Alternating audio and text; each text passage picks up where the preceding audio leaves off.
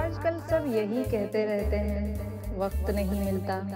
मुझे समझ नहीं आता कि बिज़ी वक्त हो गया है या आदमी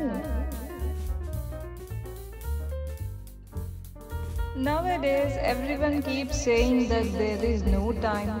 I'm busy. I do not understand whether time has become busy or man